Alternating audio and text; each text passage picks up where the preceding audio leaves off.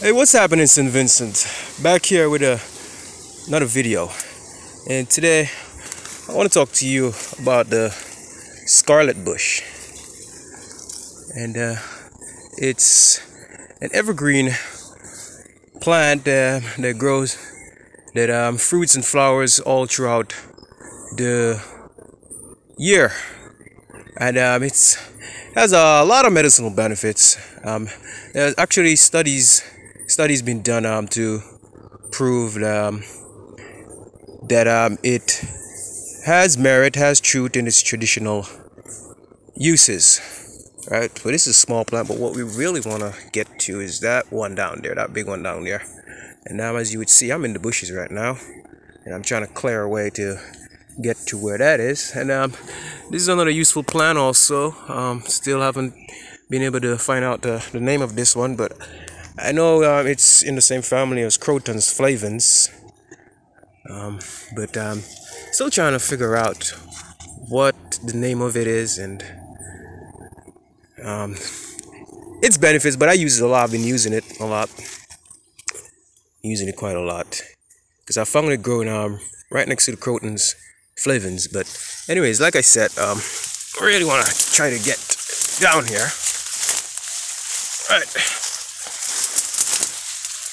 Uh, get up close to this scarlet bush.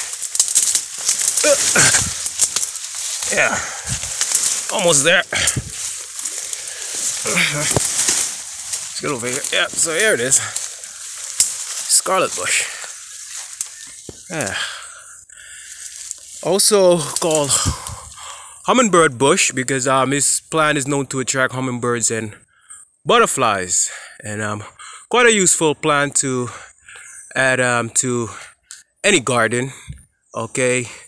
It um, can be found in um, Florida down to Central America South America and uh, the Caribbean also called redhead Mexican firecracker. See um, the orange to yellow flowers flowers there. Let me put this down. And uh, like I said, it has so many benefits. Uh, a friend of mine was in Jamaica. Um, he had this plant. He had his plant up, posted it on his um, page, and he was asking, you know, what is this? He found it in his garden. So I said, that's scarlet bush. And um, he asked me to use it. So I said, um, I'll get back to you on that. I'll do some research do some reading. So um, I'll let him know that I did a video because I told him I would do a video on it. So um, in Brazil, no, sorry, in Mexico, the fruits, which at first turn from green to yellow to dark, the the fruits can be used to make a fermented fermented drink or wine and um, in the Caribbean, the the fruits, the syrup from the fruits are used to to treat dysentery. And um, there have been studies which have proven um, the, validity, the validity of its uh, traditional uses. Um, in, um, they did a study in, in rats which showed um, it has anti-hyperglycemic benefits used to treat diabetes. The Mayans, they call it Xcanan, which means guardian of the forest. And um, in Brazil, they they also chew the leaves when um, they're working in the fields. They use um, the leaves to to give their, their body a, a, a good cooling, get cool down the body. So it's also febrifuge. It can be used to lower the body's temperature when you have fevers. Okay, you can use the leaves to make an infusion. Leaves are used to make a decoction. Even the roots can be used to make a decoction. It um also is very popular use in um aiding skin issues. Can remedy remedy skin issues. Yeah, sores, and from from, from what I read, because I did I did a lot of reading on this. From from what I read, um, in um.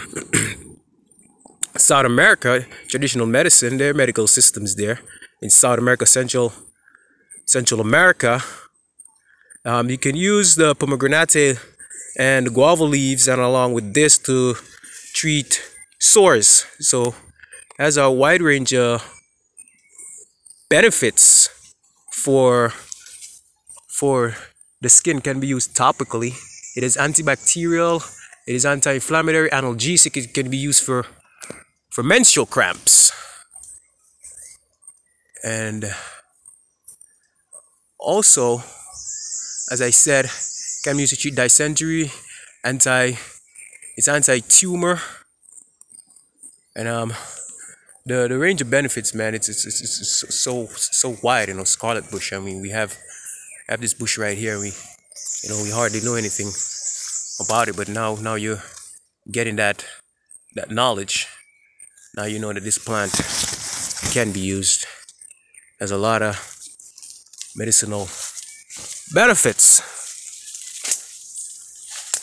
Okay i'm not seeing any of the berries here. Show you the darkened um darkened berries which um like i said um this plant attracts hummingbirds and um and butterflies which aid in poly pollination. So there's it scarlet scarlet bush. Okay can also be used to treat headaches sores. Okay inflammation it's anti-tumor menstrual cramps fevers can be used to treat rheumatism list of um, benefits medicinal benefits or quite wide, quite diverse. So there it is, scarlet bush. Thanks again for watching.